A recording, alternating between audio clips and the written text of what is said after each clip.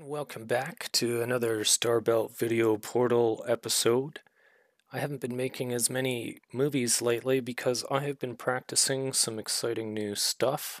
It's very time consuming and the learning curve is huge. I hope to show it to you soon. First of all, I should say I'm using Final Cut Pro.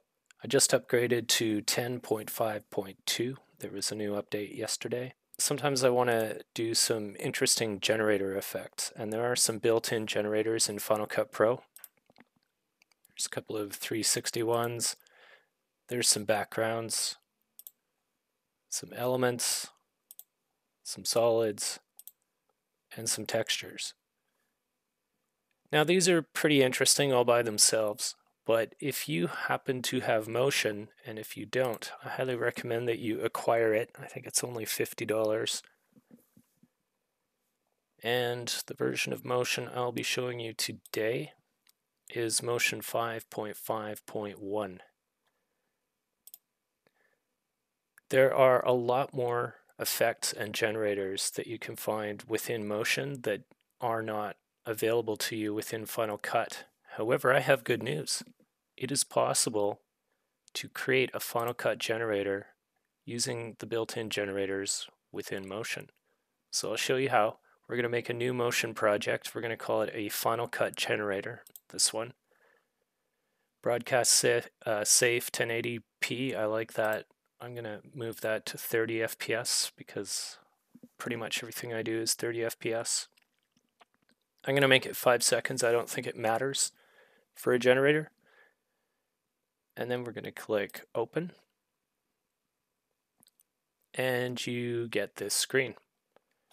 And what you can do is under the library, you can go to generators. There's all kinds of neat stuff in here. I am just scratching the surface. Um, I've been like, there's really cool generators. You get a little preview up there. But for today's tutorial, I'm going to show you how to do a particularly interesting generator that I found. In fact, it's not a generator that I'm going to export as a generator today, but it's a particle emitter. And there's all kinds of cool particle emitters, as you can see. And wouldn't it be cool if you could do that right within Final Cut instead of having to come out here to render it and then bring it in with some loss it turns out you can. So the one I'm going to show you today is a complicated one called data flow. You can see a little preview right there. It's got like matrix style green letters going in three directions. So select that, drag it over here to your project, and now you'll see data flow as well as some other things that it created. And here's our initial preview.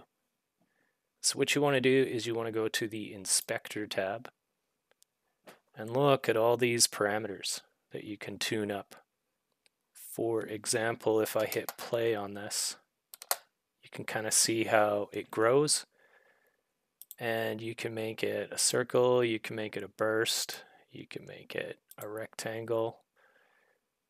You get the idea. You can change its radius. You can change the number of points. All these things you can configure. So let's just reset everything because I want, want it at its defaults. So what you want to do is you want to go to the very far right of each parameter that you want to export as part of your new generator that will show up under Final Cut Pro. You'll get this little drop down arrow if it's available and not all of them are. And what you can do is go down here to publish.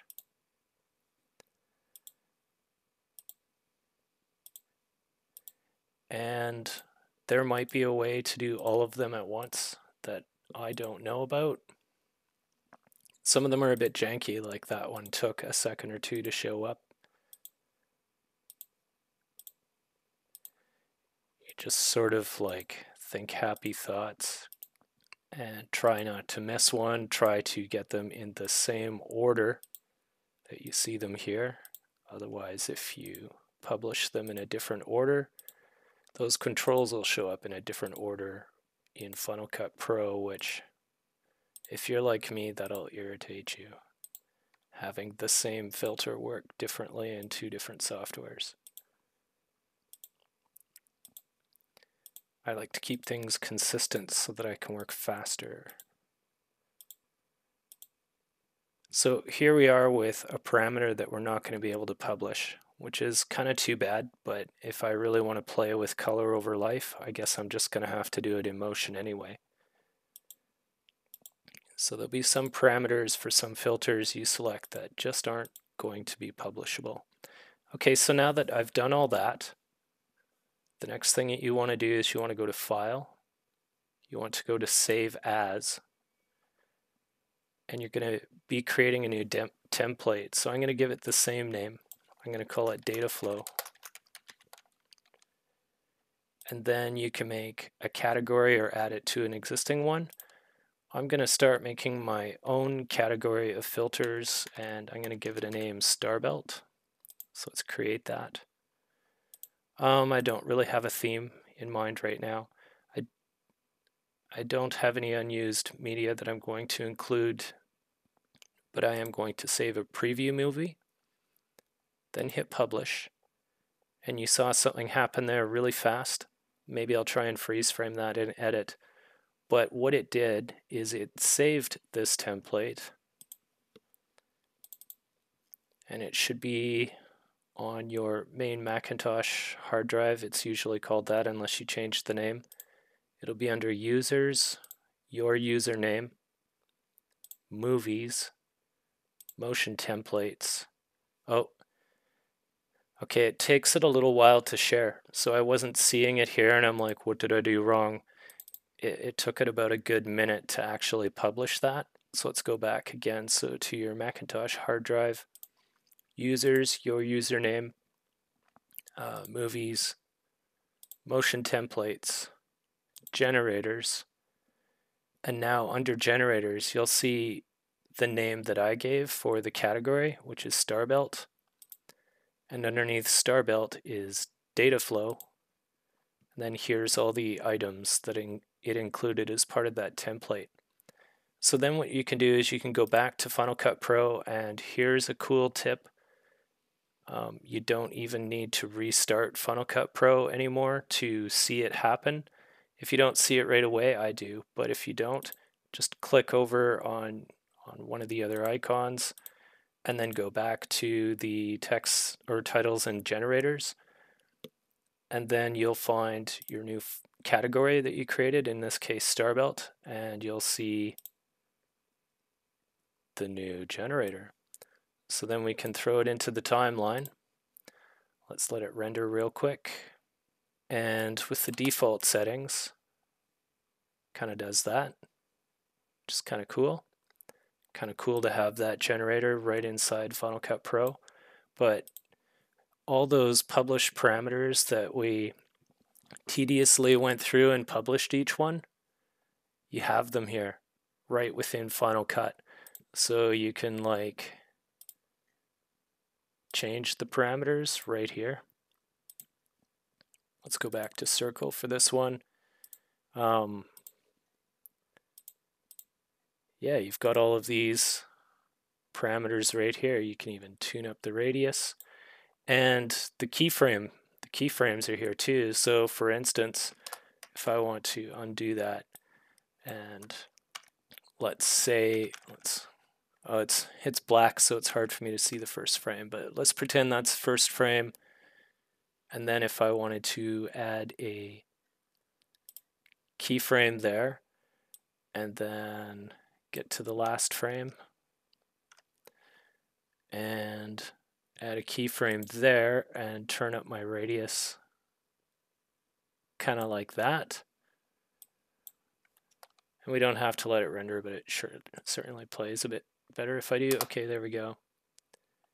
You can see that you can add keyframes to the filter even to give it a bit of life, even though you're not in motion right now. So there you go. Um, I could spend all afternoon playing with these parameters before doing any of my composite tricks. It's a very powerful way to bring some of the features within Motion into Final Cut Pro. Let's do one more for the purposes of this video. So again, we'll go back into Motion. We'll create a new project, a Final Cut generator, 1080p,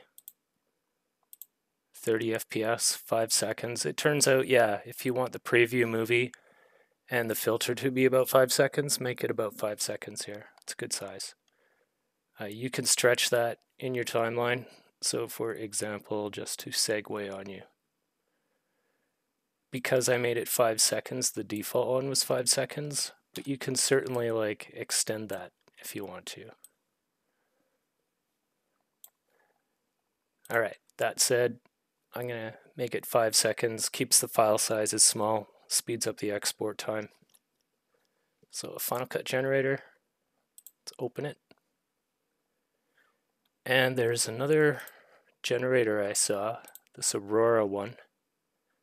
I want that in Final Cut Pro too. So it looks a little more complicated. Let's take a look at it. I think the parent is this, so let's inspect it. And again, we've got lots of publishable parameters, except we're probably not going to be able to do the color range. So if you really want to play with color range, you're going to have to do it within motion. But let's grab this anyway, or as much of it as we can. So once again, we'll publish these patiently and in the correct order. And not publishing duplicates, not missing one.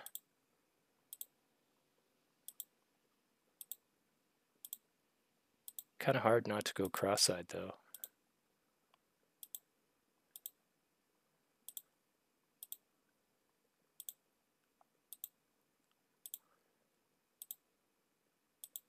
I'm not talking because I'm concentrating here. Don't even want to blink or I might miss one. Okay, I can't do that color range, sadly.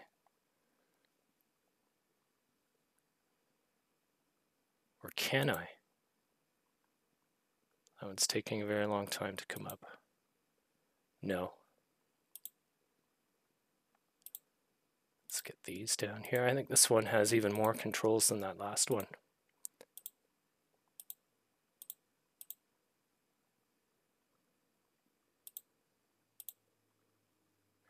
All right.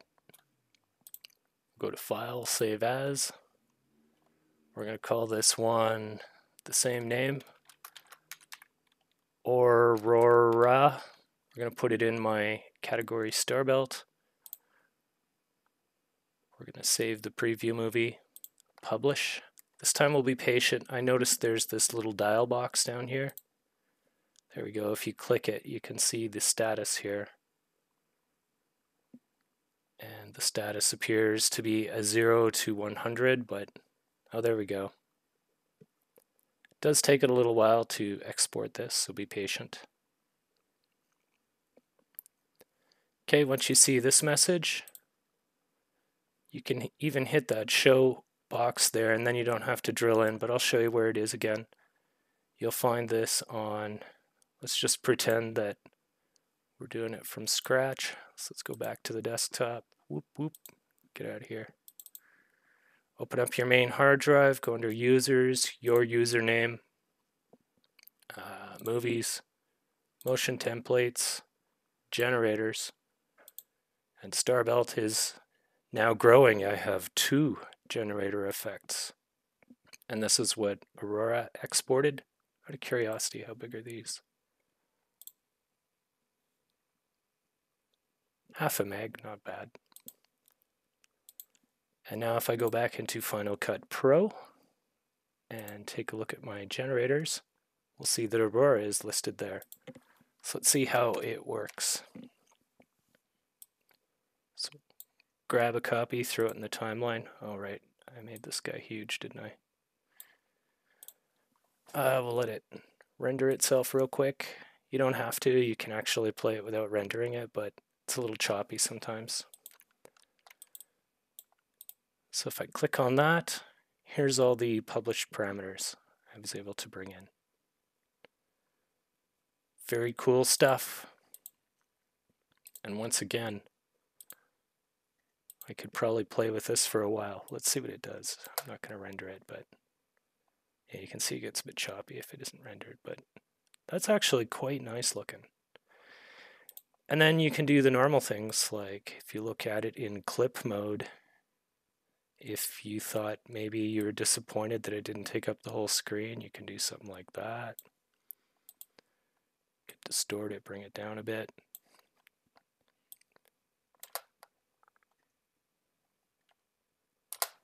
You can even do things like rotate it. Like, for example, real cheap uh, thing we can do. Now we can see our beginning keyframe because we've actually got some contrast there, but a fun trick is to set a keyframe for rotation, another keyframe for rotation, and then like say 180, let's just flip it. And now you've got the sense that you're spaceship tumbling towards some plasma sheath. There you go. Two particle emitters slash generators that you can export out of motion and manipulate right within Final Cut.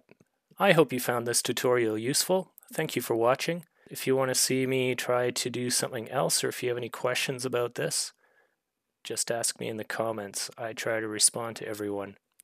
Thanks for watching. Look forward to talking to you next time. Bye-bye now.